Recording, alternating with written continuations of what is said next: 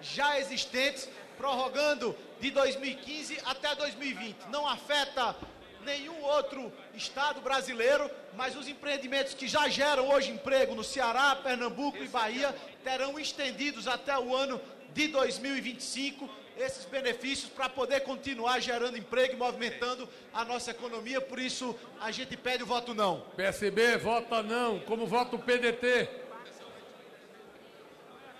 Como vota o PROS? PROS vota sim, senhor presidente. Vo PROS caminho voto sim. Como vota o PPS? Deputado Rubem Bueno.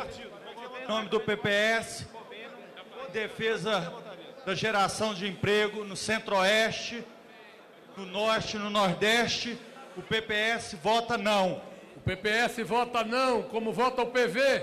Senhor presidente, o PV sempre foi contra a isenção de IPI para veículos sem uma contrapartida sobre as emissões de gases poluentes. No entanto, nós estamos vendo uma excepcionalidade. Trata-se de incentivar a indústria do Nordeste. Meu voto pessoal será não e eu vou abrir, liberar a bancada para votar de acordo com a sua consciência. Como vota o PDT? PV libera a bancada como vota o PDT. Eu pedi ao deputado que usasse o outro, o outro microfone. PDT vota sim, senhor presidente. PDT encaminha um voto sim. Como vota a liderança da minoria? Senhor presidente, a minoria vai liberar a bancada por haver alguma divergência desse tema é, dentre os partidos da oposição. O meu voto é não, porque entendo que nós devemos incentivar a indústria do setor automotivo no norte e nordeste do país. Gerar emprego, gerar renda. Mas a minoria, em razão dos partidos de oposição é, terem algum entendimento diferenciado, nós, portanto, liberamos.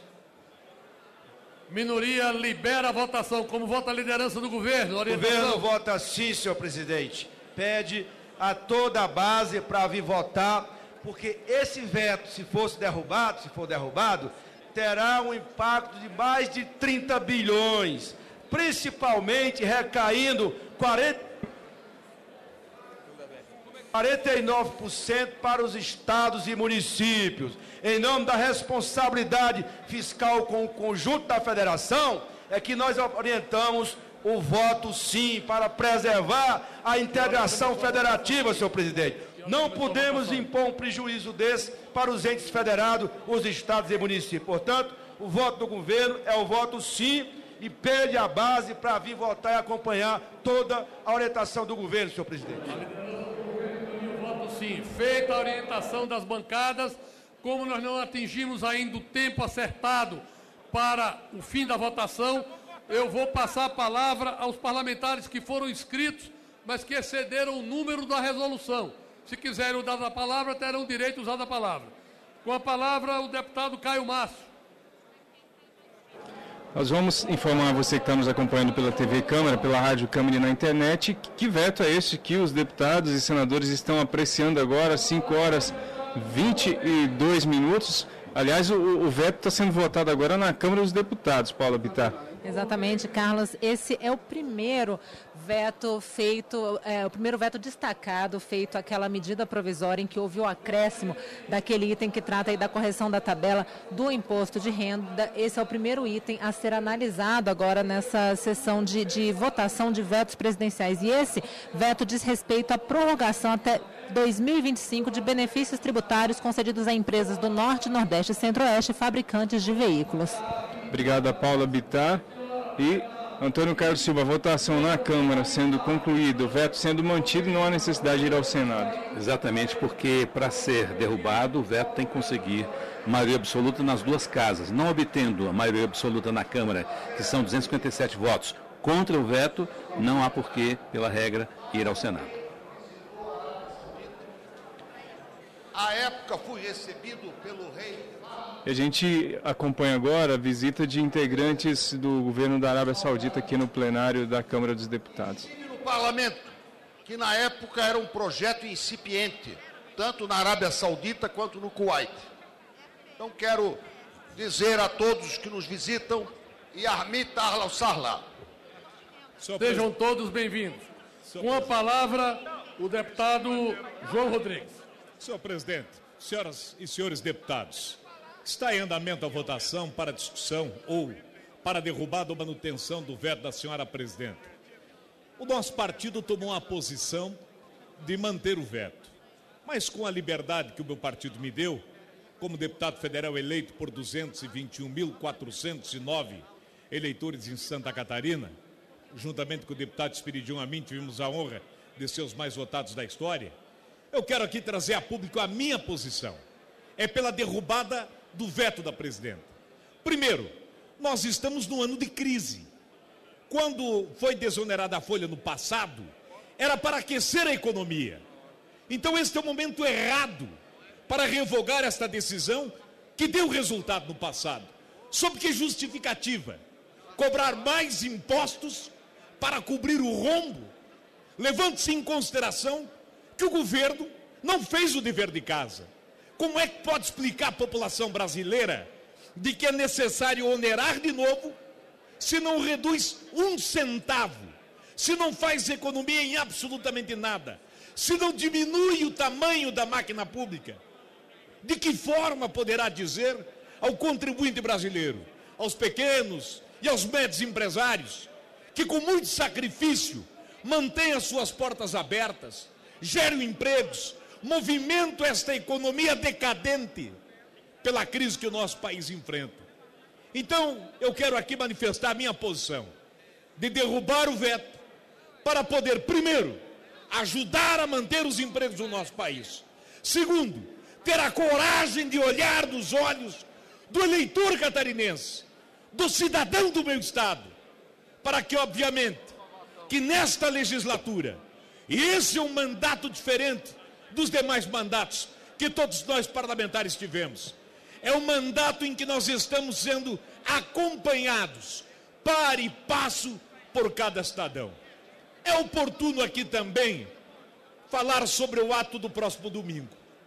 Mas o que me espantou, caros deputados, é que no dia de ontem, hoje, temos atos públicos pelo país patrocinados pelo MST. E o que me chama a atenção é de que a bandeira levantada é pela reforma agrária. Na minha cidade de Chapecó, hoje, por exemplo, um grupo de integrantes do movimento trancaram algumas avenidas. Na mão direita, a bandeira do movimento. Na mão esquerda, a bandeira do PT. Me parece que o poste está fazendo xixi no cachorro. Ou seja, ora, quem é que pode, quem é que deve e quem é que tem obrigação de promover e efetivar a reforma agrária do país? Pelo que me parece, pelo que é, não só me parece, mas pelo que é, é obrigação do governo. Faz se quer. Agora ir para a rua protestar contra quem? Por outro lado, o presidente Lula recentemente convocou o MST. E obedientemente o movimento atendeu o apelo do presidente. Por mais que se justifique que todo mês de março o movimento vai às ruas, é importante o movimento aliado e alinhado com o governo que possa discutir internamente e partidariamente os encaminhamentos. Por mais, é importante que o MST solicite o governo a titulação das terras daqueles que já foram assentados. Pelo que me parece, não há vontade política da titulação e da escritura efetiva para cada um daqueles que hoje já foram assentados. Por fim, quero aqui conclamar os demais colegas, não em nome da ideologia, nem em nome da posição partidária, mas em nome do bem-estar do nosso país pela honra de cada cidadão de bem do nosso país e do meu estado principalmente. O meu voto é pela derrubada do veto Até porque, com todo o respeito, esse era também um compromisso de campanha da senhora presidenta Dilma. Assim sendo, eu estou contribuindo para que ela possa honrar com seu compromisso de campanha, que não era aumentar tributos, que era garantir os empregos, que não era tirar direito de trabalhadores, que era para manter tudo aquilo que viesse para aquecer a economia do país. Obrigado, senhor presidente. Com a palavra o deputado Cláudio Cajado. Senhor presidente, senhoras e senhores congressistas, eu venho nessa oportunidade, senhor presidente, informar a este plenário as medidas que a Procuradoria Parlamentar da Câmara dos Deputados tomou contra o ministro Cid Gomes, diante do que ocorreu no relato que foi publicado no blog Josias. Disse Sua Excelência que aqui na Câmara tinha de 300 a 400 achacadores. Portanto, nós interpelamos Sua Excelência, o Ministro de Estado, pessoalmente, enviamos uma representação ao seletíssimo senhor presidente do Supremo Tribunal Federal e ao Procurador-Geral da República para que o ministro Cid Gomes se manifeste extra e judicialmente para que ele confirme a autoria da manifestação publicada no blog do Josias. Segundo, quem seriam os 300 ou 400 deputados federais que o interpelado definiu como achacadores? E terceiro, quais condutas materializariam tais atos de enfraquecer o governo para achacarem mais, tomarem mais e tirarem mais? Essas medidas, senhor presidente, tornam-se necessárias, porque, de acordo com o regimento interno da Câmara dos Deputados, a Procuradoria Parlamentar, cuja titularidade eu exerço, tem por obrigação promover a defesa da Câmara dos Deputados e dos seus membros quando atingidos na sua honra e na sua imagem. Se algum parlamentar pratica o mal feito, ele responde.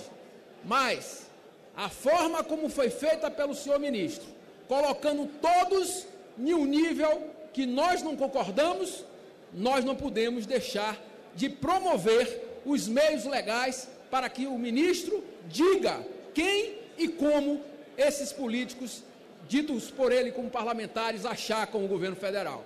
A gravidade da situação é tanta que foi aprovado um requerimento por iniciativa da mesa diretora e dos líderes partidários para que o ministro viesse aqui e pudesse esclarecer essa questão.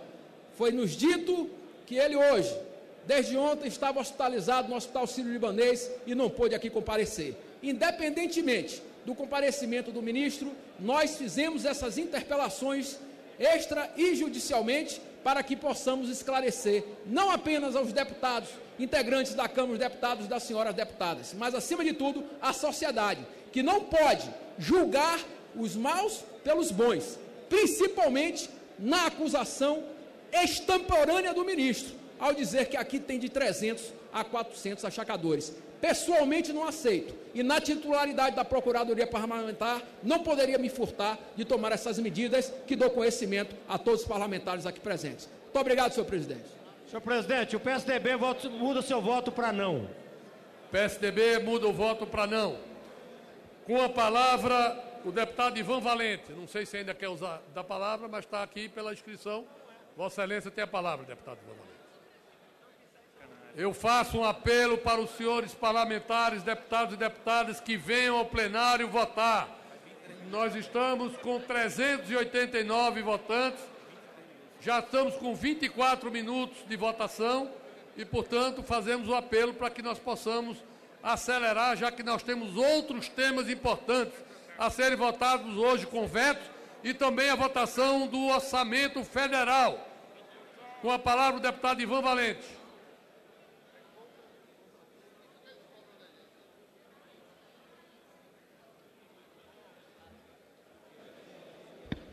Senhor presidente, senhores, senhoras deputadas, é, em primeiro lugar, queria só reafirmar o, posição do pessoal sobre essa questão da isenção. Favorável, voto assim. Acho que essas reduções do IPI se mostraram, inclusive, inócuas. E mais do que isso, é baseada num modelo econômico que gera pouco emprego, cria mais filas nas cidades, mais poluição e desincentiva o transporte coletivo de massas. Então, é, realmente é, é preciso pensar um novo modelo econômico. Por isso, o pessoal vota sim. Presidente, eu quero aproveitar também para deixar um pronunciamento como lido nesse momento, em que nós analisamos aqui a questão do ataque feito a jovens negros e pobres pela ação do Estado, pela ação policial, e que são denunciadas diuturnamente em fatos nos meios de comunicação de massa. E eu acho que há um, um, uma verdadeira articulação para garantir a impunidade. Para isso, são vários mecanismos utilizados subterfúgios como alegação de confronto através dos autos de resistência, manipulação de cena do crime e o uso do chamado kit flagrante para incriminar pessoas mortas pela PM com armas raspadas, porte de pequenas cápsulas de cocaína, de crack e de maconha. Dados da ouvidoria da, ouvidoria da Polícia de São Paulo apontam que só no ano 2014, 801 pessoas foram assassinadas pela PM paulista o que representa um aumento de mais de 80% em relação ao ano anterior, que pode ser caracterizado como genocídio de jovens negros e pobres, na sua grande maioria. E dessas 801 mortes, com certeza, mais de 700 inquéritos foram arquivados. Então, senhor presidente, nós descrevemos aqui vários fatos ocorridos na última semana em que essa violência se traduz e o pouco avanço nessa direção. Mas quero ressaltar aqui a abertura da CPI para apurar a violência contra jovens negros e pobres, que é uma oportunidade dessa casa fazer um raio-x da violência no Brasil inteiro. Quero deixar esse pronunciamento como lido. E também, senhor presidente, senhores deputados, quero colocar politicamente porque o pessoal não estará e não participa de manifestações como a do dia 15, que estão aí previstas pelas redes sociais. E dizendo, e tem aqui também um pronunciamento que vai mostrar, senhor presidente, senhores deputados, que os partidos que fazem oposição hoje também não são alternativas. Basta ver que os tucanos por que o PSDB não é alternativa? Tucanos atacam direitos no, Paraná, promovem tarifaço em São Paulo, se omitem no caso HSBC, restringem investigações na Petrobras, impedem a apuração do três salão, defendem a manutenção do financiamento privado das campanhas eleitorais. O que nós acreditamos, senhor presidente, é que ao PT e o seu governo ao ir para a direita com o programa neoliberal, eu acho que ele criou uma profunda crise de identidade na oposição de direita. O, PT, ao ir para a direita, criou uma crise de identidade à direita. Então, hoje o que nós vemos é que o, o, o projeto econômico é exatamente o mesmo. O que o Aécio Neves faria no lugar da Dilma Rousseff? O mesmo que vocês estão criticando aqui, medida provisória 664, 665 do senhor Levi e assim por diante. Por isso, se bandeio para uma única bandeira que é da ética na política. Mas para ter ética na política, precisa apurar o trem salão de São Paulo. Para acabar com o ajuste fiscal, não pode fazer o que o governador Beto Richa faz no Paraná. E assim por diante. Então, ou nós mudamos a política econômica e os métodos políticos, ou seja, vamos fazer uma reforma política com o fim do financiamento privado de campanha, mas não só de boca, nem do PT, nem do PSDB, dos outros partidos. Vamos dar um exemplo. Ninguém recebe mais de empresa. Está aí a Lava Jato para mostrar. 70%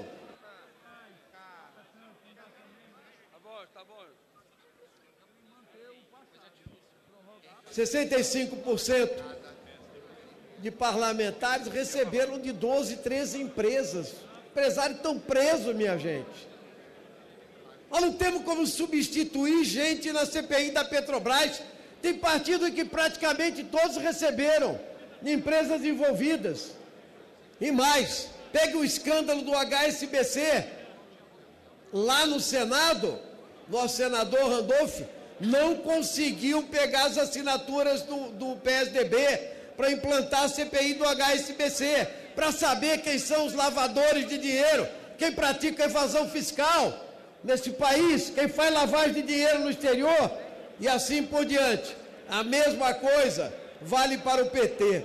Ou seja, aqui os projetos que vêm, como esse foi do imposto de renda hoje, como são as medidas provisórias 664, 665, servem só para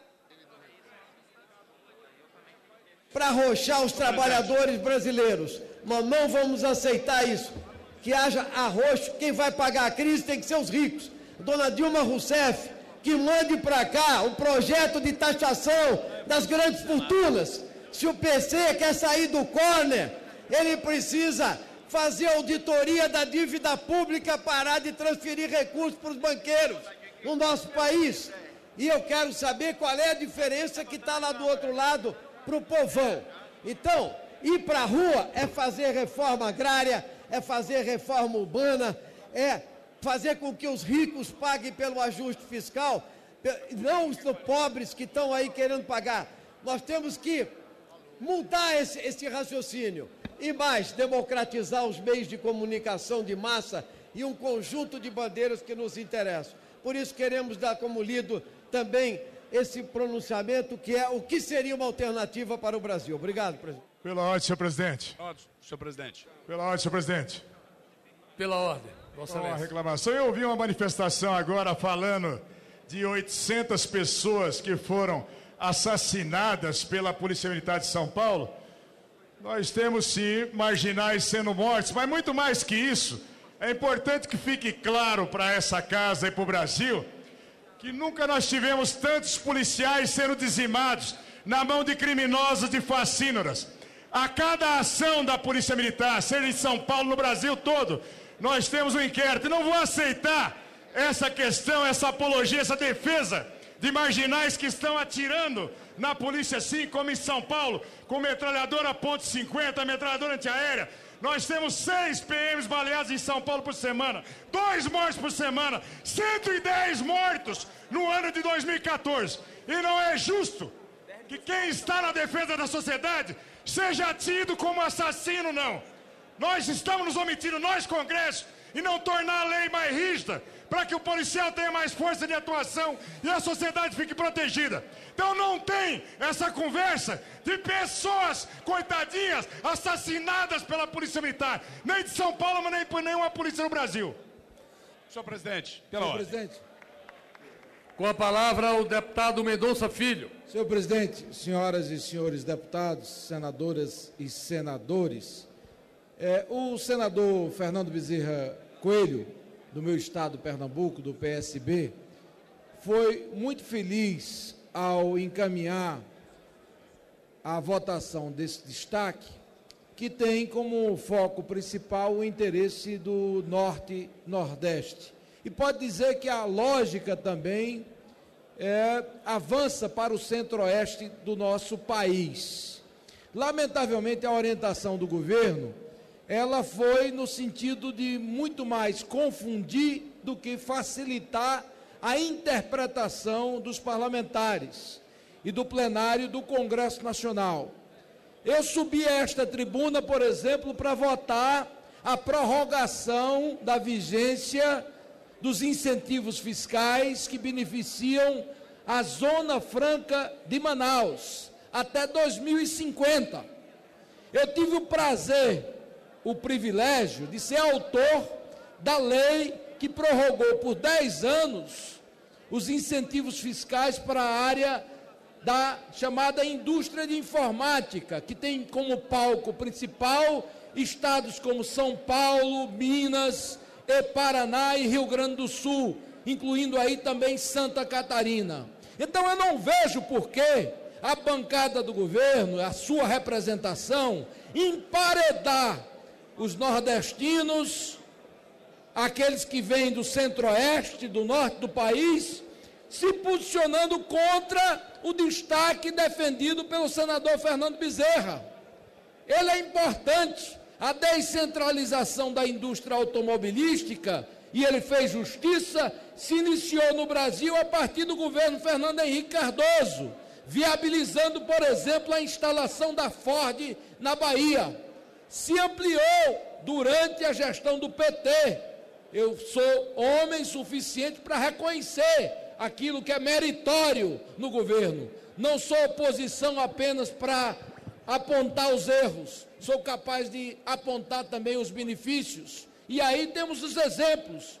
A Ford que expandiu adquirindo uma planta no Ceará e a Fiat que marchou da gloriosa, do glorioso estado de Minas Gerais para fincar a bandeira no meu estado, Pernambuco, com apoio maciço da bancada nordestina, em especial da bancada pernambucana. Então, antes que se conclua o processo de votação, eu peço apenas uma reflexão. Será que o norte do país merece a prorrogação da Zona Franca? E nós apoiamos.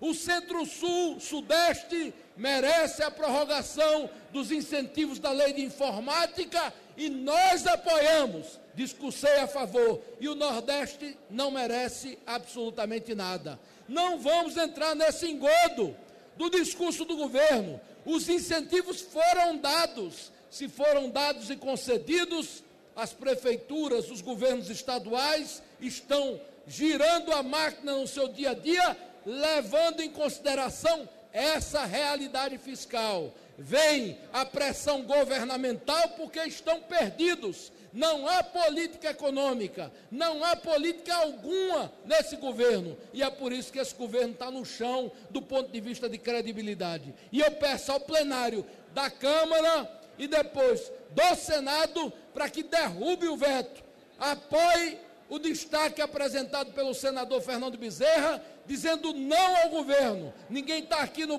no Congresso Nacional para, a todo instante, a todo momento, seguir a orientação da liderança do governo, como se porventura o Congresso Nacional fosse correia de transmissão e tivesse que sempre seguir, seguir a orientação da, de Sua Excelência que está de plantão lá no Palácio do Planalto. Se a presidente está perdida, não venha colocar o Congresso Nacional na mesma direção. Vamos votar com altivez, defendendo os interesses do país. Se a gente quer investimento no Brasil, se a gente quer geração de oportunidade de trabalho, a gente tem que criar incentivo e gerar condições para que o investimento apareça. E não essa política de terror fiscal que infelizmente se instala na realidade do nosso país.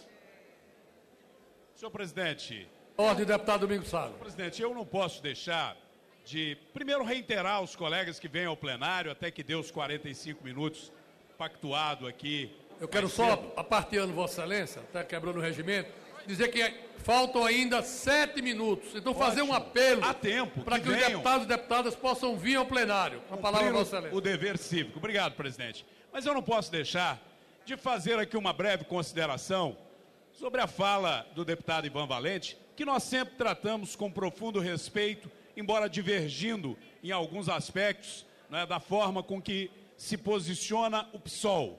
O PSOL tem as suas posições, o PSDB tem com muita clareza as suas posições, e eu queria dizer, com todo respeito ao deputado Ivan, até porque nós é, temos lutado por causas de interesse do país de maneira suprapartidária com frequência, que, na minha opinião, não contribui para o país essa tentativa infeliz que ele teve de querer colocar na mesma vala PT e PSDB. São coisas absolutamente distintas, embora nós também saibamos tratar com respeito que a democracia pressupõe aqueles que representam o PT, de quem discordamos profundamente. Mas o que me traz a essa tribuna é que o deputado foi extremamente infeliz ao querer fazer a colocação de que tem problemas em São Paulo que precisa de ser investigado.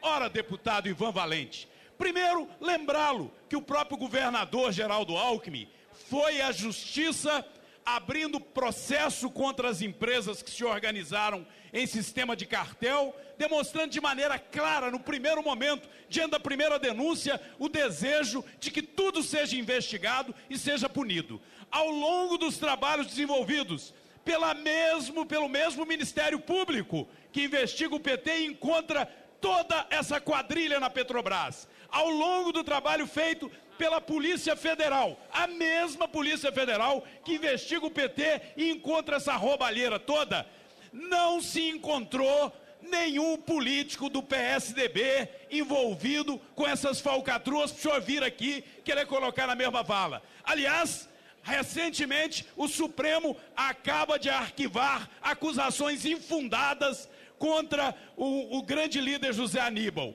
Portanto, senador, deputado Ivan Valente, colocar na mesma vala é um desserviço ao país, porque hoje o país vê quem é de fato o PT. O partido que se envolveu em toda a lama de corrupção. E o PSDB, que se orgulha da sua história, é, continua pronto para que tudo seja apurado. No caso da CPI do HSBC, que Vossa Excelência faz referência, o PSDB priorizou a CPI da Petrobras, mas nunca se recusou a assinar qualquer CPI de investigação. Pelo contrário, o Moral da história é concluir. Está aqui ao meu lado o senador Aloysio Nunes, que fica indignado quando tentam plantar essa mentira, porque o próprio senador Randolfo, homem digno e sério, confirma e reconheceu que não procurou o PSDB, não procurou, protocolou tão logo tinha as assinaturas, e Vossa Excelência vem trazer essa meia verdade, pior do que isso, vem trazer uma afirmação de que o PSDB se recusa a investigar o HSBC.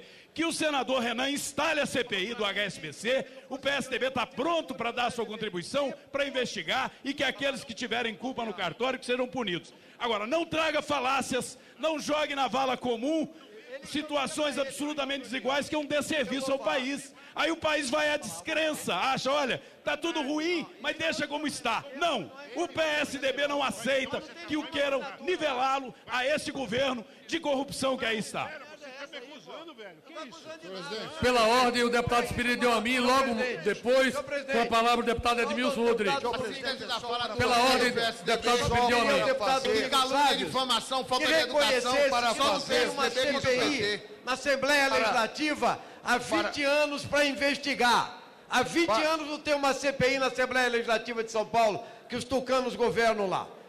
E sobre a CPI do HSBC, a informação que eu recebi do senador Randolfo foi essa. Não tem nenhuma assinatura deputado, na CPI do PSDB. Deputado Ivan Valente, a palavra está pela ordem com eu, o deputado Pela ordem, presidente, pela ordem. Pela ordem, deputado Presidente, presidente Romero Jucá. Eu perdoo. Romero Jucá, pela ordem. Eu vou perdoar. Artigo 14 do Senado, que anuncia no Congresso quero é. perdoar publicamente pela liderança do PSDB. deputado Ivan Valente. Deputado Ivan Valente é um homem sério, e hoje se deixou trair pela sua impulsividade da época de estudante. Mas ele está perdoado, porque ele tem outras virtudes. Eu estou ocupando o microfone em nome do meu partido, presidente, para, assim como eu critiquei a sua celeridade, a sua afobação na primeira votação, eu quero reconhecer que Vossa Excelência está conduzindo corretamente e de maneira temporal adequada à presente votação. E acho que vou falar mais um pouco para, pelo menos, aliviar as tensões que ocorrem à minha sinistra. Obrigado. Obrigado. Pela ordem, o senador Aloysio Nunes Ferreira. Senhor presidente. Eu só gostaria aos parlamentares que tivessem calma. Nós estamos num, numa longa jornada de votação. Teremos mais votações pela frente. Portanto, vamos ter tranquilidade vamos votar, cada um colocar seu posicionamento, respeitando a individualidade da democracia. Com a palavra o senador Aloysio Nunes. Senhor presidente, eu me dirijo muito especialmente ao ilustre deputado Ivan Valente, um homem que admiro, com quem convivi durante muitos anos, e até peço desculpas a ele porque me excedi um pouco na interpelação que fiz agora há pouco.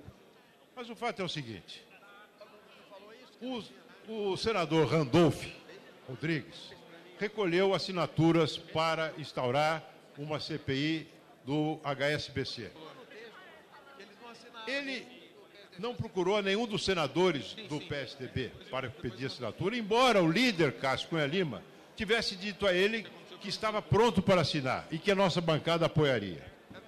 Acontece que o nosso querido colega Randolfo Rodrigues, tendo atingido o número protocolar de assinaturas, resolveu, resolveu formalizar imediatamente a, o pedido da sua instalação antes de procurar a bancada do PSDB. E ele justificou, e justificou do plenário do Senado, justificou da tribuna do Senado, dizendo que se precipitou para formalizar, para o pedido da instalação, com receio de que outra CPI entrasse na frente e ele se visse às voltas com embaraços regimentais para fazer funcionar aquela que ele havia requerido. Ele disse isso. Nenhum de nós foi procurado.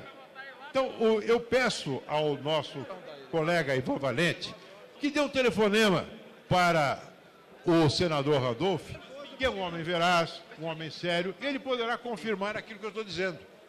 Nós não fomos procurados e o senador Randolph. Eu tomei conhecimento da CPI quando o, Randolph, o senador Randolph anunciou a sua criação da tribuna do Senado. Eu fiz questão de cumprimentá-lo e, nesse momento, ele deu essa explicação, que não havia recolhido a nossa assinatura em razão da urgência que ele via em protocolar o seu pedido. Então, espero que isso fique esclarecido para que não, não volte esse tema a ser novamente levantado aqui, que eu considero uma infâmia, pura e simplesmente. Presidente, só para esclarecer, só para esclarecer, é correto. Falar Vossa Excelência para rapidamente um minuto, um minuto. colocar um ponto final nessa Um minuto discussão. é, só para Vossa esclarecer. Excelência tem a Senhor presidente, eu coloco e reafirmo toda a minha fala que eu fiz ali, comparando os partidos, a sua política econômica, a sua política social, o que se faz no Paraná, o que se faz em São Paulo. Faz 20 anos que não se abre uma CPI lá, mas quero eh, ao senador Aloysio, ele não fique nervoso, ele veio aqui, porque a informação que eu tive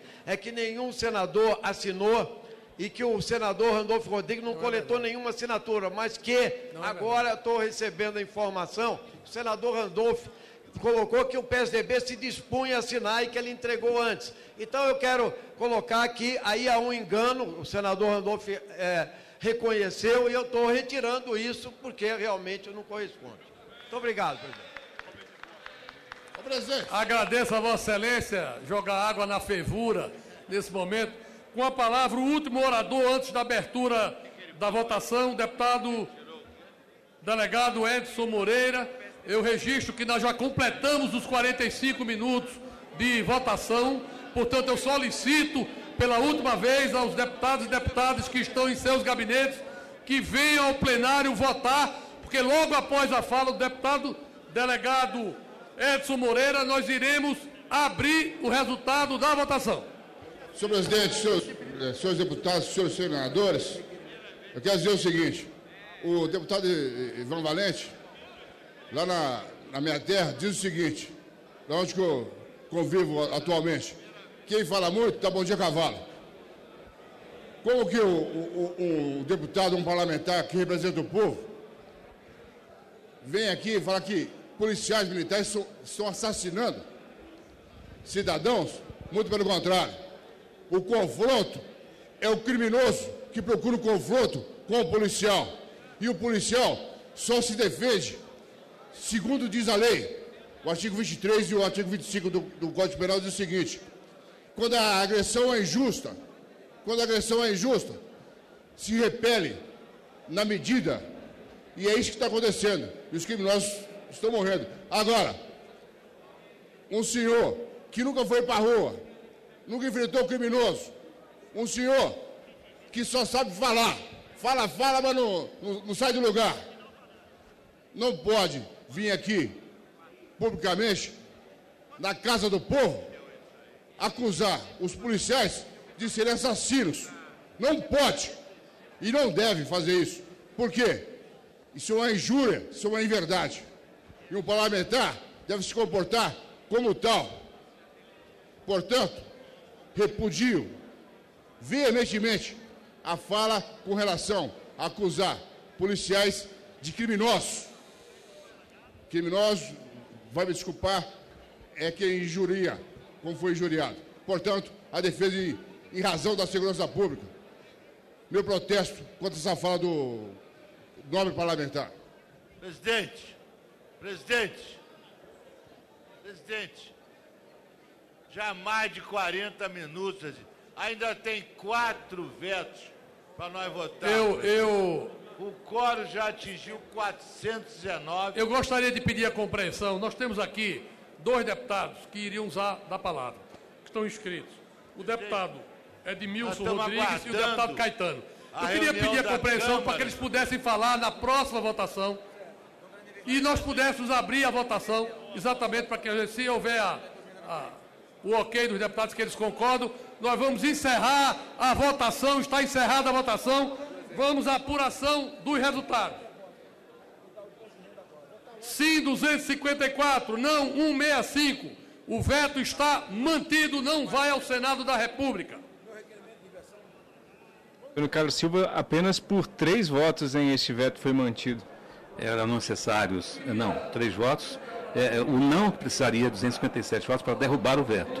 Conseguiram apenas 165. Ah. Os favoráveis à manutenção do veto obtiveram uma boa margem de votos, 254, é, quase 257, mas não havia necessidade de alcançar esse quórum para manter o veto. Então, para manter- queria derrubar, é que teria que colocar 257 votos contra pela derrubada do veto. Então, sempre o que está contra, o que está querendo Exatamente. derrubar, precisa colocar a maioria absoluta para poder derrubar o veto.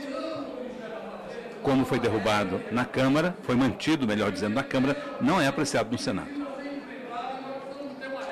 efetiva, tendo em vista a conjuntura econômica do país. Nós precisamos ter uma regra efetiva que permita às empresas brasileiras entrarem num regime de recuperação judicial e possam sobreviver. E a regra hoje ela não permite isso. Então, como nós vamos ter aqui mais uma hora de discussão e esse veto não vai cair, eu queria propor que nós pudéssemos retirar o destaque nós vamos tratar dessa questão conjuntamente e vamos procurar colocar essa nova regra negociada na nova medida provisória, ou a 61 ou a 63, que está é, sendo discutida. Além disso, né, além disso, é, há um pleito né, de que nós pudéssemos antecipar a votação do requerimento sobre o destaque do imposto de renda. É, é o sétimo item. Então a gente poderia, de certa forma, retirar esse destaque, o 4, que não vai avançar, e nós votaríamos o requerimento e iríamos para a questão do imposto de renda. Não sei se os líderes topam esse acordo. Presidente, eu sugiro inverter a ordem. Agora, retirar o destaque, eu acho que ah, o plenário está lotado, é um momento que pode realmente ser favorável a assuntos importantes como esse. E eu acho que a inversão de pauta, a inversão de pauta, colocando imposto de renda à frente, seria a melhor sugestão. Mas manter a pauta, porque esses vetos são importantes para o Brasil. Pode fazer, claro. O deputado, o deputado Rodrigo Maia, que tem tratado dessa questão, e logo após o, sena- o deputado Espiridione. Inverter, colocar o item 7, que é o do imposto de renda, primeiro, e depois o item 4. O problema é o seguinte, vamos aqui falar claro. O, o- o- item do imposto de renda é o último item do veto. Vamos, seria o primeiro Nós pela minha proposta. Tudo bem, só que é o seguinte, nós, se nós fizermos isso, nós poderemos ter, logo após a votação do imposto de renda, o esvaziamento do plenário, nós não iremos votar os outros outro itens problema, e nós não presidente. votaremos o orçamento Mas da é- República. Na é hora a que a minha gente sugestão. votar o requerimento do imposto de renda, a gente libera a pauta presidente. e a gente vota o orçamento. Senhor presidente, eu eu que tenho que- cuidar da pauta como um todo. Então eu Eu quero estou fazendo uma sugestão. Vossa Excelência ouve o plenário. Vossa Excelência já disse que tem quatro, o veto vai ser mantido. Não, eu, Eu sei que eu Vossa Excelência tem experiência e que sabe lidar com o relógio. Não, mas o relógio É. está domesticado há- há pelo outras- acordo que foi feito com a liderança. outras. Eu vou cumprir O os horários que foram o acertados com a inventário liderança. de soluções. Senhor presidente. e outras. Eu pediria que Vossa Excelência Senhor presidente. metesse a minha ao plenário. Encurta para 20 minutos.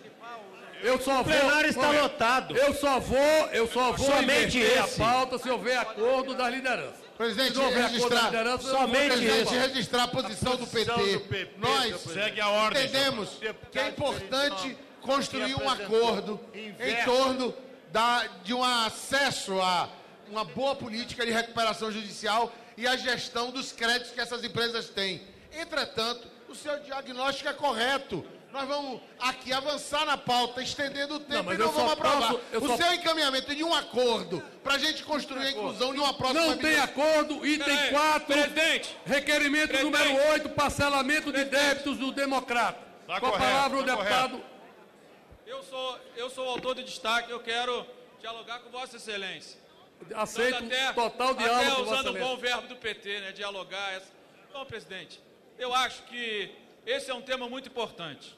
Considero Se nós derrubarmos na tarde de hoje, é muito difícil que nós encontremos né, com o governo um bom diálogo para que numa nova medida provisória essa matéria aí entre e ela precisará entrar de qualquer jeito. né? É, Vossa Excelência colocou que teríamos duas hipóteses, na 661 e na 663.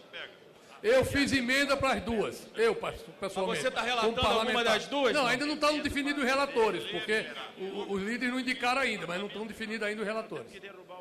É, eu, eu, eu, eu pessoalmente, eu, com o compromisso de Vossa Excelência, né, principalmente Vossa Excelência, do PMDB e, claro, do PT, com todos os partidos, PSB, todos, se nós pudéssemos de fato dialogar, discutir esse tema e encontrar um caminho para que a gente possa não aprovar apenas o parcelamento, mas a possibilidade né, da utilização do passivo que essas empresas têm, sem precisar que elas coloquem 30% como queria o governo ano passado. Nenhuma empresa de recuperação judicial tem essa condição. Então, tendo a sua palavra, e se o meu líder estiver de acordo, da minha parte, eu prefiro garantir um diálogo para que nas próximas medidas provisórias nós possamos avançar nessa matéria do que ir para uma votação que a partir de amanhã nós não temos mais condição de dialogar esse tema com o governo. Mas aí é uma questão do plenário decidir. Bom, eu, eu, eu, eu, eu comungo com a posição de Vossa Excelência. Quero dizer que já apresentei emendas sobre a questão da recuperação judicial. Vou me empenhar com todas as minhas forças nesse trabalho, que considero extremamente importante e relevante para a economia do país e para a conjuntura que a gente vive. Então fica aqui a colocação. Se houver concordância dos líderes, nós vamos retirar o destaque e vamos seguir a votação. Haver- não, não havendo ninguém contra a PT concorda com o acordo, presidente. Vamos concorda. seguir na votação.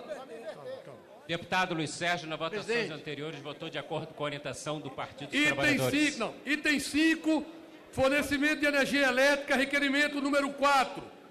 PSB, Senado Federal. Em discussão, com a palavra o deputado Silvio Costa.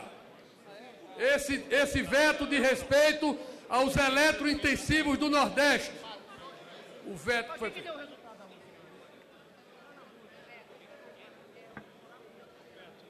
Seis, é- seis horas e sete minutos na capital do Brasil. A gente está aqui no plenário da Câmara dos Deputados nessa sessão do Congresso Nacional, em que senadores e deputados apreciam vetos da presidente Dilma Rousseff. Mais cedo já foi aprovada aqui uma resolução que regulamenta ah, o, o procedimento, os procedimentos de votação dos vetos aqui pelo Congresso Nacional. E agora a gente já ouve o deputado Hugo Leal, do PROS do Estado do Rio de Janeiro. Micherini votou com o partido nas votações anteriores. Obrigado. Senhor presidente. Senhor, senhor presidente, na votação anterior, o deputado Valmir Pracidelli votou com a- de acordo com a orientação da liderança do PT. Senhor presidente, esse veto que nós vamos tratar agora, o veto número 4, que é feito destaque pelo Partido Socialista Brasileiro, trata de um pedido, foi introduzido na medida provisória, de prorrogação até 2042 dos contratos de fornecimento de energia elétrica celebrados entre concessionárias com consumidores finais, mantendo as tarifas a critério de reajuste em vigor até 2042. Óbvio que da forma que foi apresentado esse texto e, a- e como está hoje a política energética, nós não teríamos, o governo não teria como manter essa circunstância dentro do país sem comprometer o equilíbrio do fornecimento de energia elétrica para todo o país. A questão dessa prorrogação até 2042 é nociva à circunstância dessa distribuição, porque vai privilegiar alguns contratos que vencem agora em 2015. E o princípio deste vencimento contratual de 2015 é renovar ou é estabelecer novos critérios para a escolha dos fornecedores de energia. É óbvio que ele atinge alguns territórios, alguns, algumas regiões do nosso país, porém concentradas. É lógico que isso, que essa prorrogação pode facilitar, pode contribuir para uma circunstância regional, mas é prejudicial, ele é nocivo a essa questão da capacidade energética que o país tem e essa distribuição. É óbvio que no Nordeste existe até uma subvenção, um valor menor para o reajuste da tarifa, diferente do Sudeste, que é um grande consumidor. Porém, se nós mantivermos esse texto da forma que está, prorrogando até 2042, mais 27 anos para as, as concessionárias, nós estamos abrindo mão de estabelecer um novo, uma nova negociação num novo contrato de concessão. O artigo 175 da Constituição Federal, quando fala no princípio das concessões, estabelece no dispositivo legal a regulamentação dessas concessões, fala do estímulo de não haver prorrogação exatamente para que o mercado, para que a circunstância atual possa definir novos parâmetros. Portanto, senhor presidente, senhores deputados, senhores senadores, essa, a manutenção desse veto é fundamental para que nós possamos permanecer no equilíbrio da distribuição energética no país. Você permanecer com circunstâncias que estavam há mais de 20 anos e prorrogar essas circunstâncias por mais 27 anos no fornecimento de energia, quando muitas vezes até subsidiado, prejudica é, e fere de morte, principalmente os estados que são os maiores consumidores e estados também que são maiores produtores. Então, por uma questão de equilíbrio, de ser equânime, é importante, nós até entendemos o desejo, mas nós estamos tratando de uma matéria que já vem sendo postergada há muito tempo. E não é por acaso que nós sofremos essa crise energética por causa exatamente da forma desequilibrada dessa distribuição e do financiamento dessa energia. Nós compreendemos e estimulamos o debate do desenvolvimento regional, mas nós aqui não podemos concordar com esse dispositivo e por isso peço a atenção de todos os deputados, deputadas, senadores, senadoras, para que nós possamos manter esse veto para fim final do equilíbrio da distribuição energética do nosso país. É isso, presidente. Chama a repórter Paula Bittar para mais uma vez dar destaques para a gente, informações sobre o, Aliás, daqui a pouquinho, Paula, o deputado Domingos Sávio já vai falar sobre esse veto, já já a gente fala. Parlamentares, eu peço a atenção de todos os colegas parlamentares. Eu não tenho dúvida, essa matéria, se não tomarmos a decisão acertada, nós iremos trazer prejuízos irreparáveis, especialmente à indústria em todos os estados da federação. Eu posso citar alguns exemplos de Minas Gerais, mas não tenho dúvida que no estado que cada um dos senhores deputados, senhores e senhoras senadores, senadoras representam, o problema não será diferente.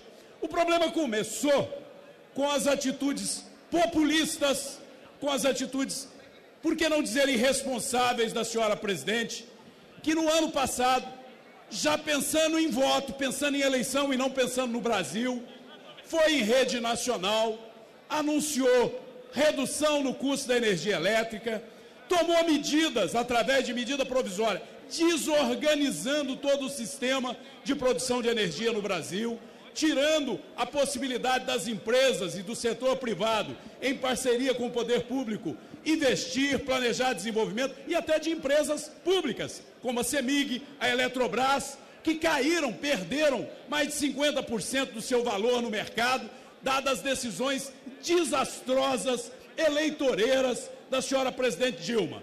Pois bem, o que que esta medida, esta, este veto que ela apresentou um projeto de lei vai representar para a indústria brasileira e por que, que nós temos que derrubar esse veto.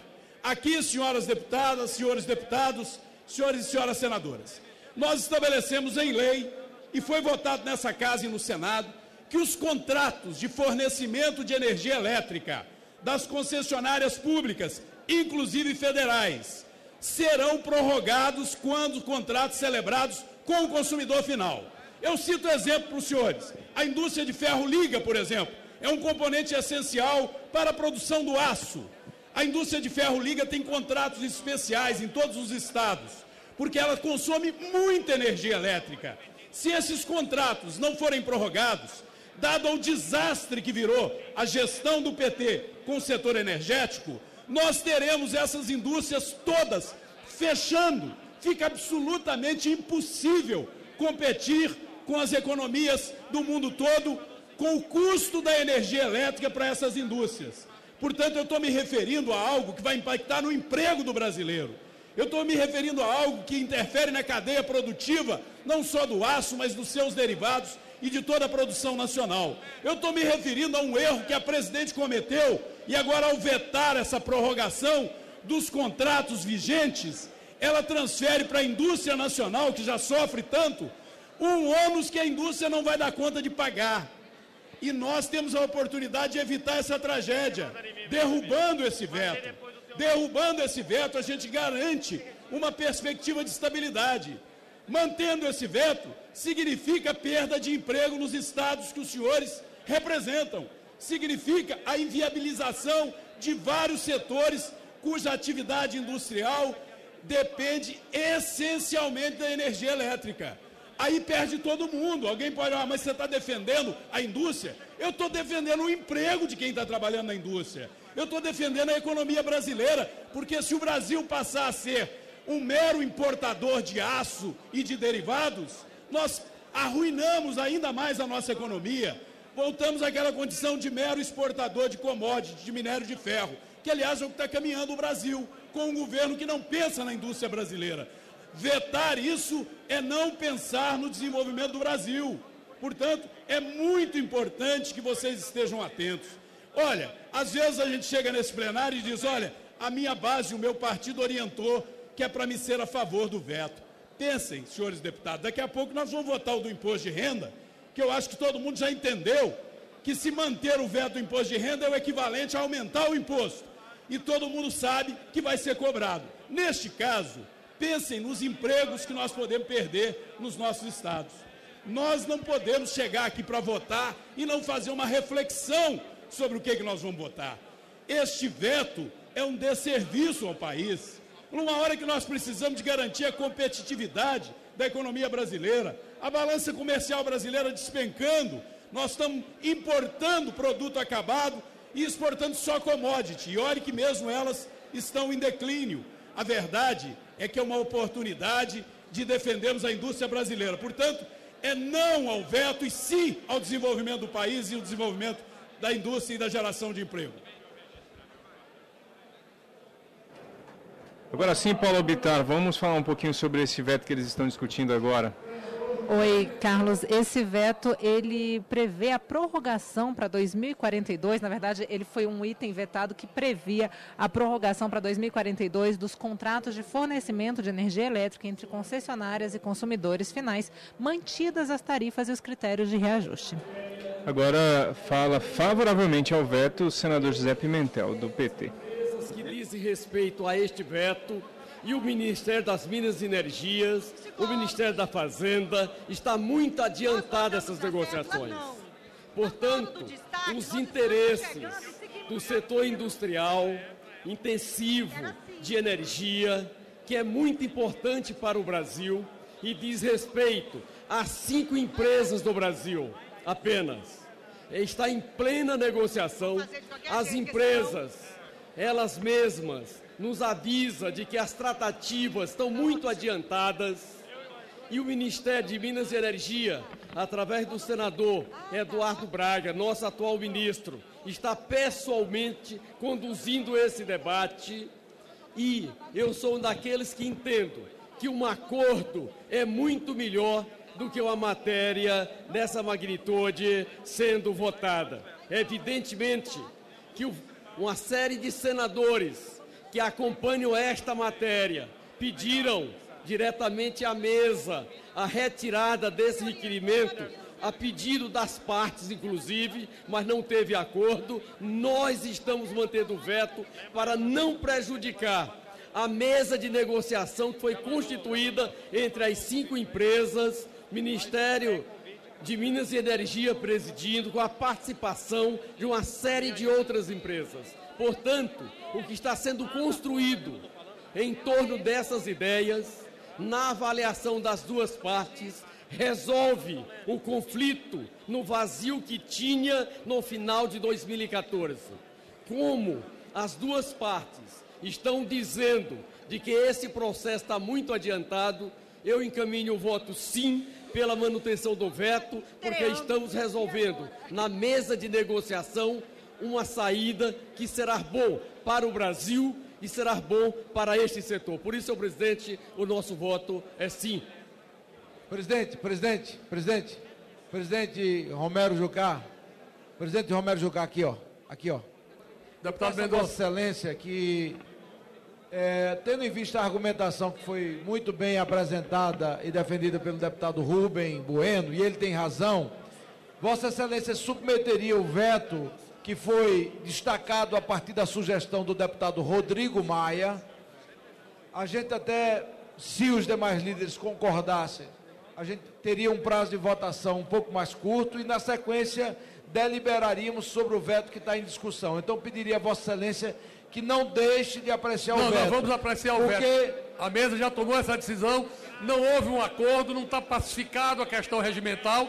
Então, para não haver nenhum risco, nós vamos colocar em votação o requerimento 8, logo após esse, o requerimento 8 de parcelamento de débitos do deputado. Ok. Tá? E nós vamos, e aí podemos reduzir o prazo no acordo de líderes para fazer o encaminhamento da votação. Eu chamo para discutir agora o deputado Raul. Senhor presidente. Vossa Excelência tem a palavra. Senhor Logo presidente. após o senador Fernando Bezerra. Senhor presidente, senhoras e senhores parlamentares congressistas, esse veto é mais um capítulo da irresponsabilidade e da insanidade desse governo, que há alguns anos desestruturou todo o setor elétrico brasileiro, que funcionava muito bem. Emparedou as companhias elétricas estaduais nas concessões, criou regras absurdas, veio com esse processo de encarecimento. A véspera da eleição, um ano e meio antes, faz uma redução brutal de tarifa desorganizando as receitas de todas as empresas elétricas, a maioria estatais, dos governos estaduais. Sua Excelência, presidente Dilma, responsável direta desta crise, colhe hoje uma desorganização do setor elétrico brasileiro, um liberou geral, um banzé no oeste, e esta medida provisória é um dos resultados do que se com... cada um está tentando salvar a sua parte. Essa é a verdade. O aumento da tarifa, ela é 100% culpa da presidente Dilma e do PT. Porque usou essa matéria do setor elétrico para ganhar a eleição, reduzindo tarifa para o povo. E não é só aí. Para cada dólar exportado manufaturado, o Brasil está importando dois. Hoje nós somos vendedores de commodities para o mundo e compramos tudo do mundo, especialmente da China, a grande companheira do presidente Lula e da presidente Dilma e do PT. Desindustrialização, tarifa de energia cara, impostos caros. O Brasil tem uma carga tributária de 36%, mas se você medir a carga tributária potencial, chega a 60%, porque o governo gasta 40%, os três entes governamentais, todos os anos, e quem paga mais imposto embutido no preço das mercadorias, dos bens e do serviço? É o trabalhador explorado na maior carga tributária do mundo, na maior taxa de juros do mundo. É o trabalhador que tem o seu patrimônio, o fundo de garantia, o PIS-PASEP, remunerado com a menor taxa do país, a 3,5 ao ano e o governo remunerando do PT trabalhista a 12,75 o banqueiro rentista que vive de especulação financeira. Não é um governo. É, um, isso é uma fraude. Esse governo, se fosse em qualquer país da Europa, só pelo problema do setor elétrico teria caído.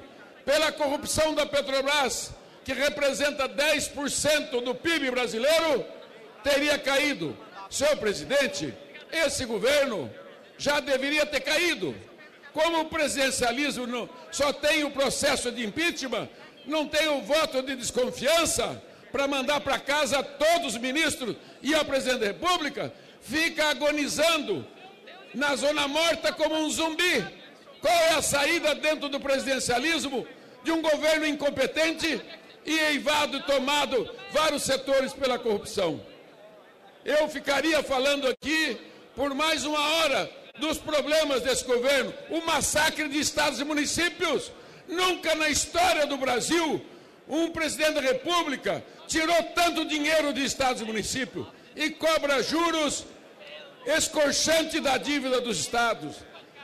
Só do Paraná, o governo federal recebeu de juros mais de 6 bilhões nos últimos anos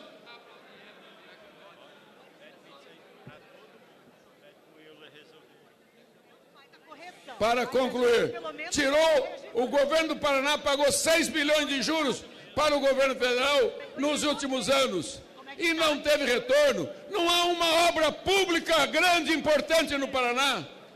As estradas federais foram todas privatizadas por concessionárias. Eu vejo hoje o SUS é um caos. O governo tirou 30 bilhões este ano do SUS. Todo ano tira 30 bilhões. O governo não atende à segurança nacional, estradas, portos, aeroportos, gente morrendo nas filas, assassinatos como nunca. Olha, tenha paciência, dona Dilma, está na hora da senhora pegar o boné e ir embora antes que a coisa fique feia realmente, porque o país hoje não suporta. É o povo brasileiro que está falando hoje nas redes sociais e vai às ruas no domingo pedir a saída da presidente Dilma. Com a palavra o senador Fernando Bezerra Coelho. Logo após o deputado Aleluia.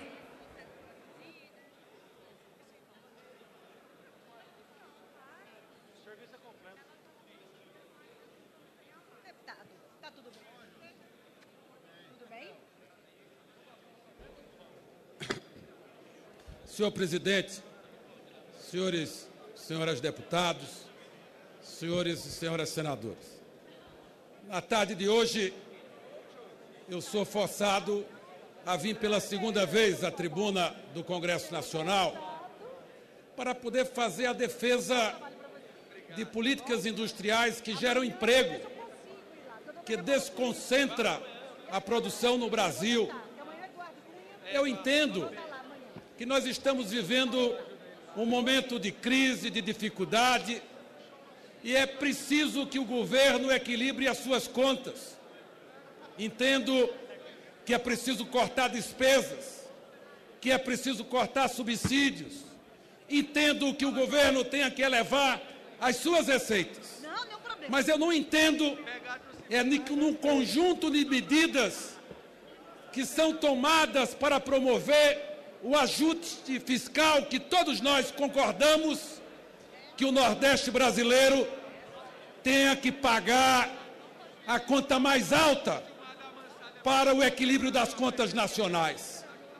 Aqui, agora há pouco, não conseguimos manter a prorrogação do regime automotivo. E agora, nesse destaque, está se impondo uma nova relação entre as indústrias de eletrointensiva, indústria que está em todo o Brasil, como os oradores que me precederam aqui salientaram, mas indústria que foi para o Nordeste, a partir do polo petroquímico na Bahia, a partir da Norquiza em Alagoas, a partir dos projetos siderúrgicos em Pernambuco e no Ceará, a partir da produção de alumínio no estado do Maranhão. Essa venda de energia, através de energia reservada, feita pela Companhia Hidrelétrica do São Francisco, ela existe há 30 anos, senhores parlamentares. Há 30 anos. Esse é um insumo essencial para a competitividade dessas empresas. No Nordeste brasileiro, são 140 mil empregos. Eu não posso me silenciar para poder deixar aqui passar em brancas nuvens essa decisão é equivocada. Tão equivocada que o governo já reconhece e a negociação com as empresas que estão sendo afetadas por essa medida.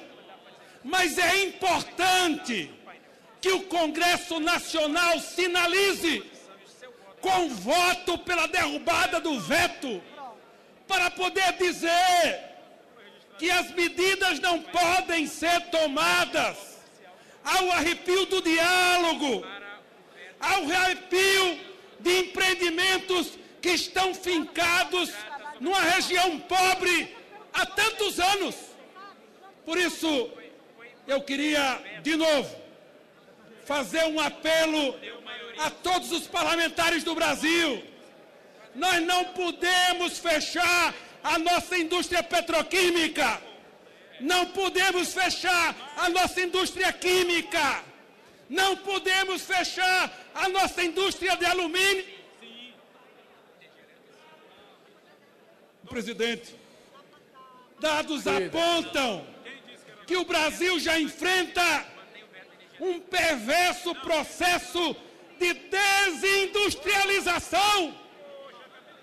Na época, na época do presidente Juscelino Kubitschek, a indústria representava 15% do PIB nacional.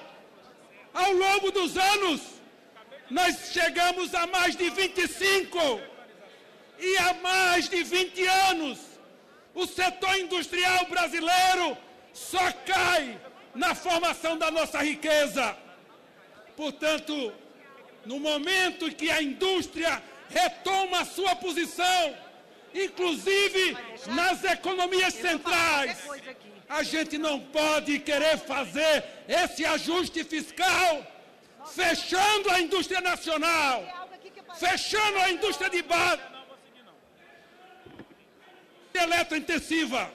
Por isso, renovo aqui o apelo para que a bancada do PSB no Senado e na Câmara possa votar não e que os parlamentares que lutam pelo desenvolvimento industrial do Brasil, aqueles que defendem o emprego, possam aqui também votar não, para que a gente possa, se possível, derrubar o veto. Mas se não for possível, que o Congresso Nacional mande um recado para a mesa de negociação que a sociedade brasileira não vai aceitar a perda de milhares de empregos no setor industrial. Muito obrigado. Com a palavra o deputado Aleluia, eu quero registrar que nós já completamos o número de oradores de acordo com a resolução. Então eu pediria a compreensão, nós vamos ouvir o deputado Aleluia, que é um especialista no assunto, inclusive foi presidente da chefe. Logo após nós Alô. vamos colher a orientação de bancada. Presidente, é a da liderança. vez. Não, Admir, você vai falar. Um minuto só. Eu tô, é isso que eu estou explicando. Estou escrito à frente do Aleluia. Eu, eu só estou explicando. O Renan passou três na minha frente, eu estou caladinho. Tá, não, Depois vão dizer tá que eu sou tá um cabano rebelde. Tá bom, tá bom. Bom vamos ouvir o deputado Aleluia. Vamos ouvir o deputado Edmilson. Aí nós vamos pegar a orientação dos líderes. Depois, aí nós vamos abrir a votação e depois continuaremos ouvindo os que estão inscritos, já que nós vamos ter 45 minutos aqui para ouvir enquanto votam os senhores e senhoras deputados. Com a palavra, o deputado Aleluia. vai chamar. Dores. O deputado Edmilson. Senhoras senadoras, senhores deputados, senhoras deputadas. Derrubar este veto não é votar contra a presidente da República. Derrubar esse veto é corrigir um erro no momento em que a presidente foi levada de maneira equivocada a destruir o entendimento construído pelo Senado e pela Câmara. Pelo senador Romero Jucá, com o senador César Borges, o senador Renan Calheiros, eles construíram o entendimento para que a indústria brasileira não fosse mais uma vez penalizada. Todos sabem que estamos vivendo uma profunda crise, deputado Ibaçaí. Se agora nós jogarmos essas indústrias para irem adquirir energia no mercado livre a 380 reais por megawatt-hora, significa, senadores, significa fechar fornos, fechar fábricas, fechar empregos, destruir famílias.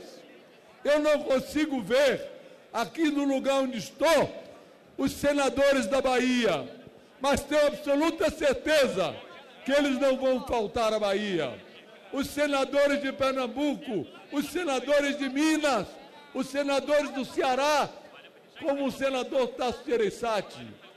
Quero louvar o discurso aqui feito anteriormente pelo senador Fernando Coelho. Ele entendeu perfeitamente, como secretário de Indústria e Comércio que foi de Pernambuco, os reflexos que isso traz para a indústria nacional. Levar as indústrias brasileiras. Não se trata de subsídio, não se trata de subsídio. Eu fui presidente da Chesse.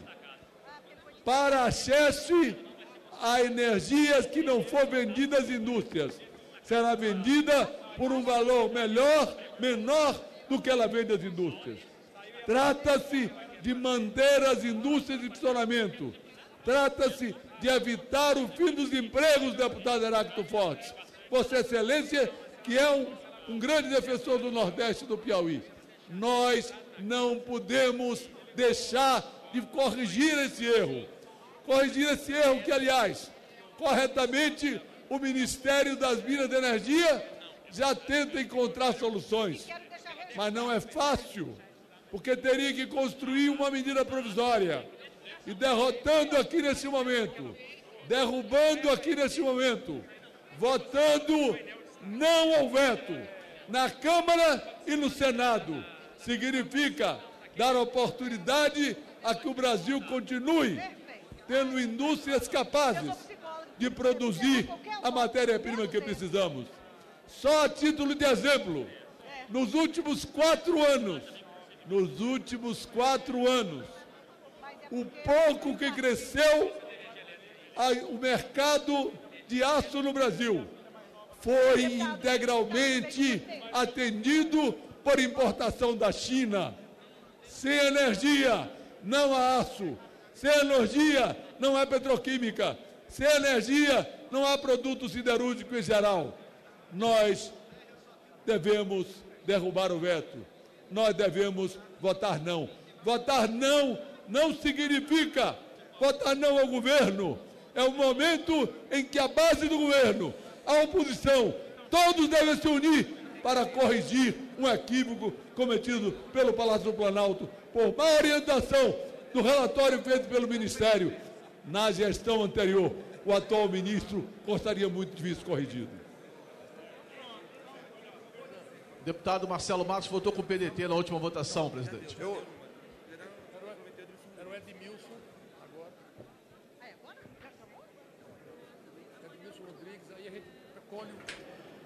6 horas e 37 minutos. Você nos acompanha aqui ao vivo pela TV Câmara, Rádio Câmara e também na internet. Os deputados estão, deputados e senadores apreciando vetos da presidente Dilma Rousseff na tribuna Edmilson Rodrigues do PSOL do estado do Pará. A favor do veto. No entanto, quero anunciar que fiquei preocupado com as manifestações do senador Pimentel. Porque é importante, inclusive, que este Congresso possa debater as bases do acordo com as poucas empresas eletrointensivas que têm interesse nas benesses, nos benefícios fiscais em montantes de energia e de recursos públicos que realmente são avassaladores da possibilidade de uma sociedade menos desigual, portanto, mais justa, mais saudável e mais feliz. Para se ter uma ideia, a metrópole de Belém, com mais de 2 milhões, quase 2 milhões e meio de habitantes, consome menos energia do que a Albras, que é apenas uma das empresas que produzem o lingote do alumínio. Que, diferentemente do que um deputado aqui diz, lingote é produto industrial, mas é semi-elaborado. Sabe quanto a Albras Alunorte, a Vale, a Votorantim, as madeireiras, para incluir um outro setor, pagam de ICMS exportação pelos milhares e milhares de toneladas que saem do nosso minério ou do lingote do alumínio lá de Barcarena? Zero! Qualquer taberneiro do interior do Piauí ou do Pará ou da Bahia paga mais ICMS do que essas empresas. Ora, tributos aprovados por esse Congresso têm uma função social. Benefício fiscal pressupõe que a empresa que vai deixar de pagar e vai ser beneficiada com isenção de imposto, com a redução de tarifas, ou com subsídios de energia, tem que dar uma contrapartida social. Eu pergunto, qual é a contrapartida da Vale para o Brasil? Das mineradoras para o Brasil? Para muitos, talvez seja, sejam beneficiados com incentivos eleitorais. O setor mineral, no último levantamento das revistas especializadas, cresceu em uma década de 10 bilhões para 50 bilhões de faturamento. E cada vez mais, por ser empresas de capital intensivo, necessitam de menos trabalho humano. É trabalho cada vez mais mecanizado. Então vamos parar de falar em pobre e defender aqui a perpetração da injustiça ou o aprofundamento das desigualdades. Há muita pequena empresa, há muito pequeno produtor rural que vive na escuridão, há muito pequeno empreendedor que precisa sim ter incentivos creditícios e fiscais. Agora, não falemos aqui em nome do pobre, para viabilizar o aumento do lucro de quem já tem todos os tipos de subsídio. Basta falar da Lei Candir. É absolutamente verdadeiro que uma empresa não tem interesse em verticalizar, por exemplo, alumínio, investir em siderúrgicas no estado do Pará, por exemplo, ou mesmo em Minas, ou no Espírito Santo, porque é mais fácil exportar e pagar zero de imposto do que ter que contratar operário, pagar salário, direitos trabalhistas, enfrentar greve, justiça do trabalho e agregar valor ao produto, o que é bom para o Brasil. Mas o que é bom para o Brasil não interessa para essas empresas. Não podemos aqui ser advogado dos ricos. O Brasil é muito injusto. Eu quero que dê como lido um pronunciamento que mostra que enquanto a ONU nos informa uma redução em um terço das infecções e mortes por AIDS no mundo, o Brasil, no mesmo período de uma década, teve um crescimento de 11%, no estado do Pará, 14%, 47% dos mortos pela AIDS na América Latina são do Brasil. E isso é falta de investimento. Então, se há problemas sociais. Apenas para concluir. Por que então não investir os recursos públicos em favor da resolução dos problemas estruturais? Eu concluo dizendo: na frente em apoio das universidades públicas hoje de manhã, manifestei meu apoio contra os cortes de bilhões, 14 bilhões da educação. Enquanto a educação mingua, não podemos admitir incentivos às empresas de capital estrangeiro, transnacionais, que já são muito ricas à custa da miséria do nosso povo. Por isso, nada de negociações nos corredores e nada de incentivar os que têm sido incentivados ao longo de séculos à custa da miséria, da morte e das mazelas sociais em nosso país. Então, a favor do veto nesse caso. Muito obrigado. Eu queria, antes de conceder a palavra ao próximo orador, dizer que nós vamos ter mais três votações nominais, três requerimentos de veto. Então, logo nós acabemos a apreciação deste requerimento, nós vamos ter a votação de mais três requerimentos. É... Nós vamos ter ainda, nós vamos ter ainda é, a votação do, requer, do requerimento das máquinas agrícolas, do imposto de renda e do parcelamento de débitos. É, eu queria, portanto, é, consultar os líderes partidários se poderemos começar o processo de votação. Eu queria apenas, eu queria apenas é, ouvir os líderes e fazer novamente um apelo aos deputados que estão em outras dependências da casa, que por favor venham ao plenário. Este veto é um veto muito importante. Ele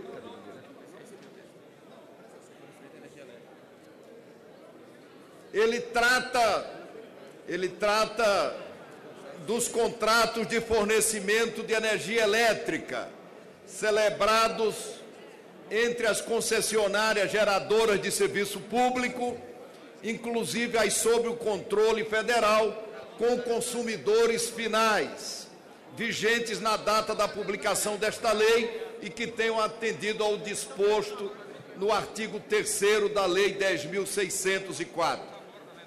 É, portanto, podemos começar a votação. Só orientação, presidente. Uma orientação, é, meu presidente. Com a palavra o deputado Mendonça Filho para orientar a sua bancada.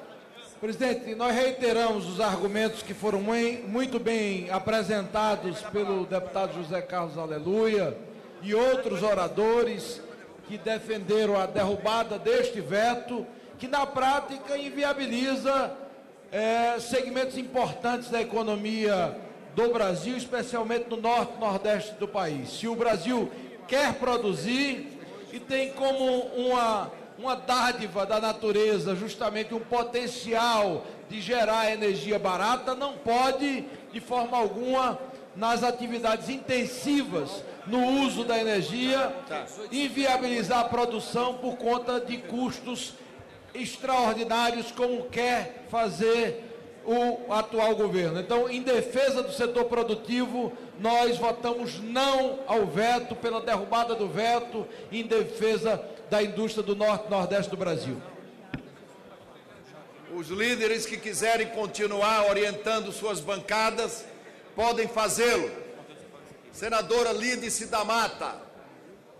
Senhor presidente, em nome do PSB no Senado Federal, base, inclusive, no pronunciamento do nosso companheiro senador Fernando Bezerra, nós nos pronunciamos pelo fortalecimento da economia nordestina, contra ah, os impedimentos e o peso sobre aquelas empresas consumidoras de, de energia intensivamente e por isso encaminhamos o voto não.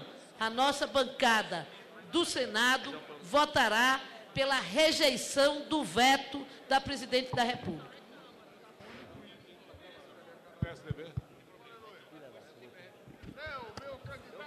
Senhor presidente, com a palavra, presidente, esta decisão que nós estamos tomando agora é mais uma consequência danosa da incompetência de um governo que modificou o modelo do sistema elétrico nacional, trazendo prejuízos para os segmentos de geração, transmissão, distribuição, comercialização e principalmente os consumidores brasileiros, que estão tendo agora um aumento muito acima do esperado.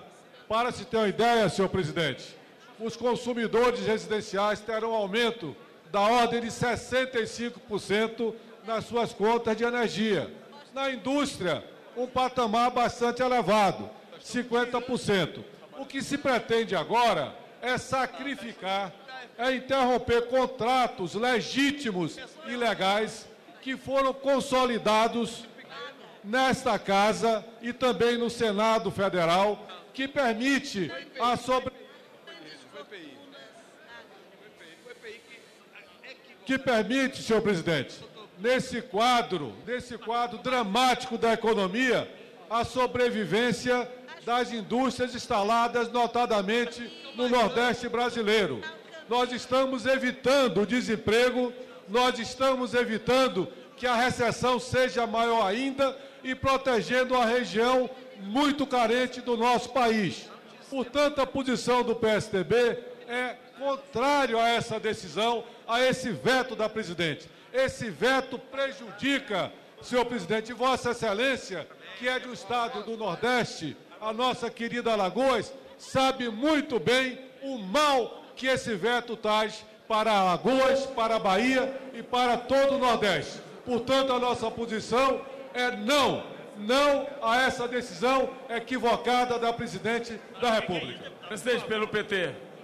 É, pelo PT. Cibá Machado, pelo PT. Muito bem, presidente. Nós vamos querer manter o veto, vamos votar sim, pelas seguintes razões. Primeiro, foi muito acertada a decisão do governo em fazer o Sistema Nacional Unificado Interligado de Energia e Abastecimento.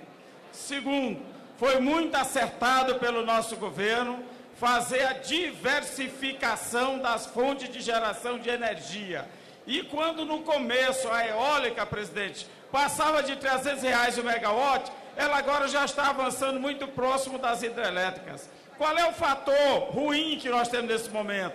Faltou chuva, as hidrelétricas estão com os lagos muito baixos, e como tal, o sistema teve que partir para as térmicas, e todos aqui sabem.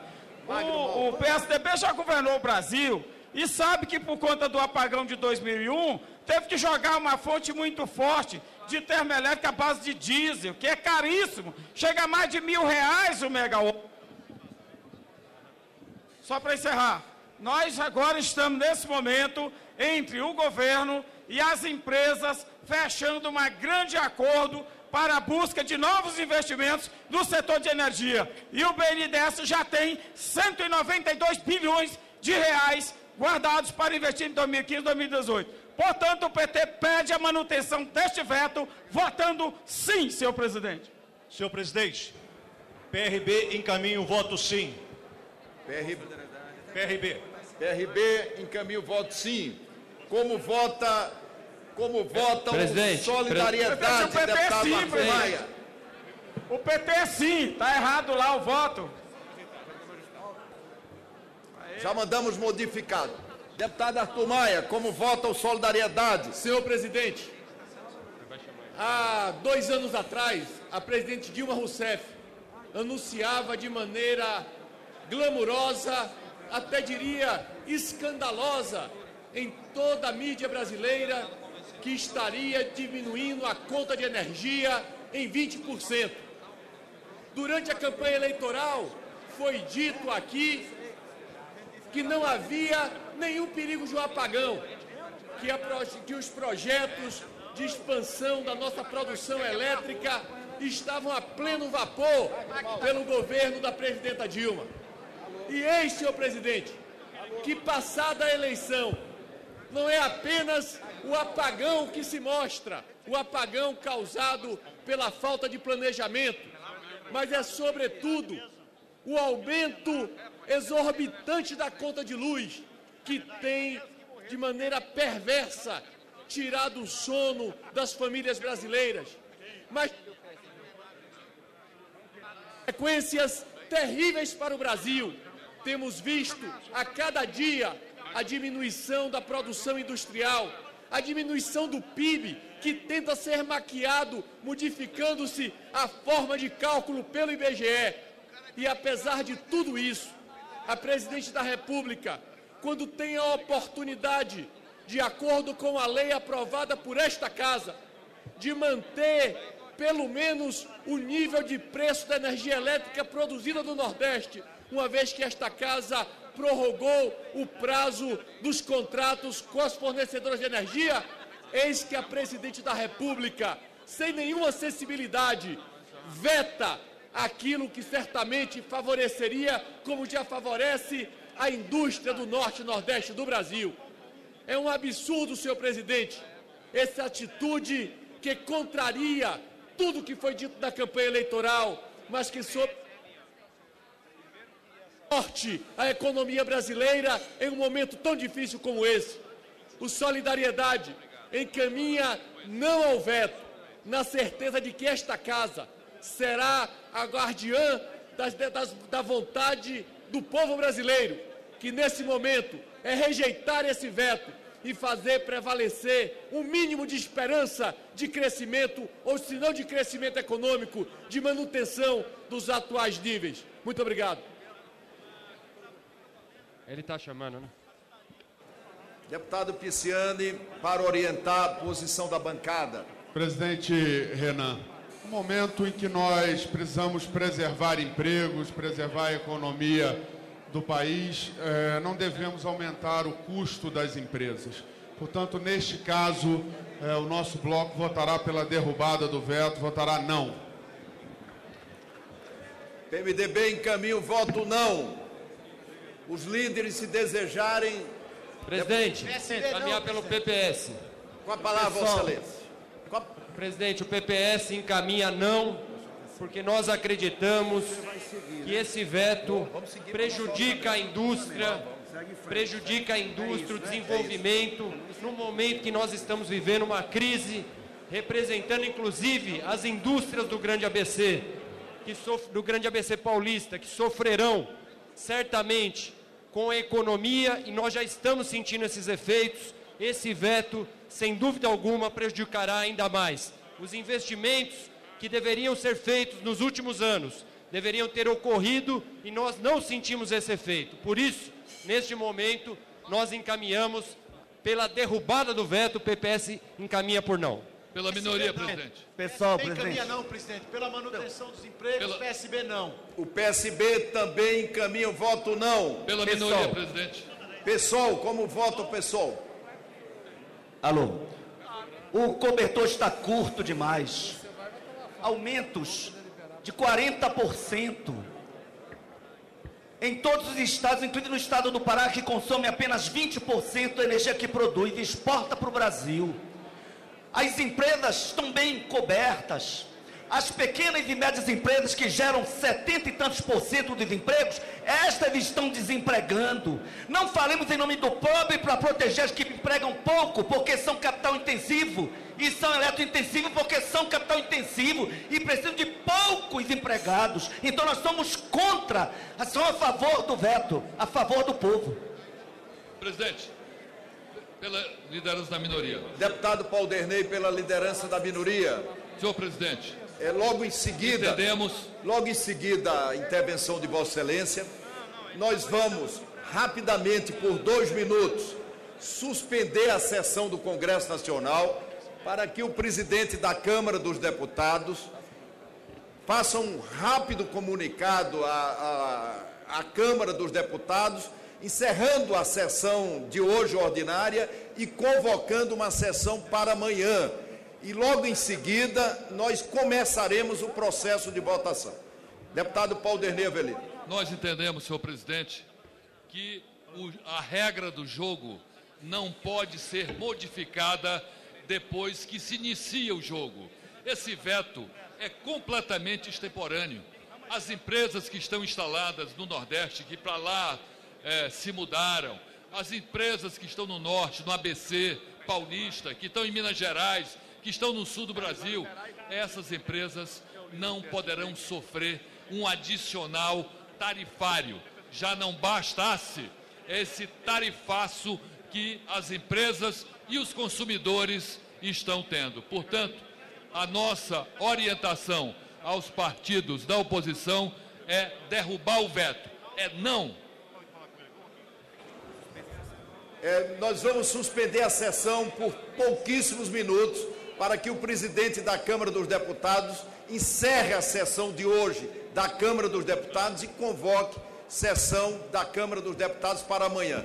Em seguida, nós retomaremos e abriremos o processo de votação. Pois é, o presidente da, do, do, Congresso Nacional, senador Renan Calheiros, encerra rapidamente, suspende, né, Antônio Carlos, essa sessão para que haja abertura da sessão da Câmara. Exatamente, o presidente da Câmara quer comunicar aos deputados a, a realização de sessão amanhã para votações. Comunico, antes de encerrá-la, que o depoimento de convocação do ministro Cid Gomes, que seria hoje às 15 horas, onde houve um ofício comunicando a sua enfermidade ficará para a próxima quarta-feira, às 15 horas, da mesma forma, independente de comissão, estamos designando pela, pela presidência para que possa constatar aquilo que efetivamente ocorreu e comunicar depois à casa. Nada mais havendo a tratar, vou encerrar os trabalhos, antes convocando sessão deliberativa extraordinária para amanhã, quinta-feira, 12 de março, às. Não, perdão, convocando sessão extraordinária para amanhã, quinta-feira, 12 de março, às 10 horas e 30 minutos, que será transformada em comissão geral para exposição do ministro da Secretaria de Aviação Civil da Presidência da República, Eliseu Padilha.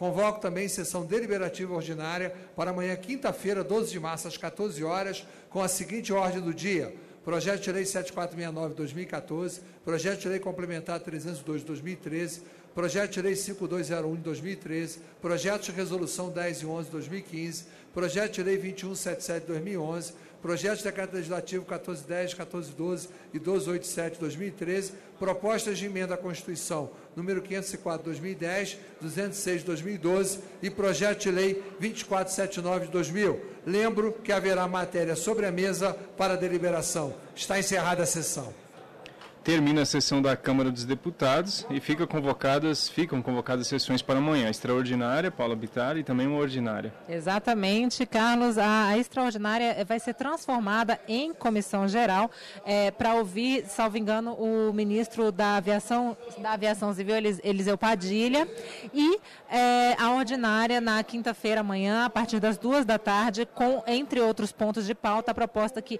é, prevê a valorização, política de valorização do salário mínimo e aqui regulamenta direitos de empregados domésticos. Agora, o Congresso Nacional retoma a sessão para análise de vetos presidenciais e retoma com o veto presidencial que prorroga para 2042, ah, o veto feito a proposta que prorrogava para 2042 os contratos de fornecimento de energia elétrica entre concessionárias e consumidores finais, mantidas as tarifas e os critérios de reajuste. Carlos. Obrigado, Paulo Bittar. Causa um prejuízo imenso ao setor produtivo do norte e nordeste do Brasil. Então, conversando com a nossa bancada, a bancada do PR resolveu liberar a bancada. Presidente, o PDT também, no mesmo caminho, vai liberar a bancada e, particularmente, já declara o voto não.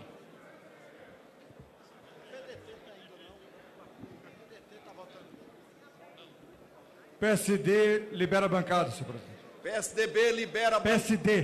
PSD libera a bancada. As deputadas e deputados, por favor, tomem seus lugares. Nós vamos iniciar o processo de votação. Deputada Aleluia. Não, senhor presidente, para salvar os empregos do Brasil. Esse, esse veto é realmente nocivo a qualquer política de combate à desigualdade regional. Senhor presidente, para orientar pelo PV, para orientar pelo PV, com a palavra P... Vossa Excelência. O PV vota não, Excelência. O PV, PV vota, vota, não. não. vota, vota não porque nós precisamos viver um momento de desoneração fiscal. Ninguém suporta mais a carga tributária que vivemos no nosso país. Painel, senhor presidente. PSD, libera, por favor, presidente. Obrigado. PSD também libera a sua bancada.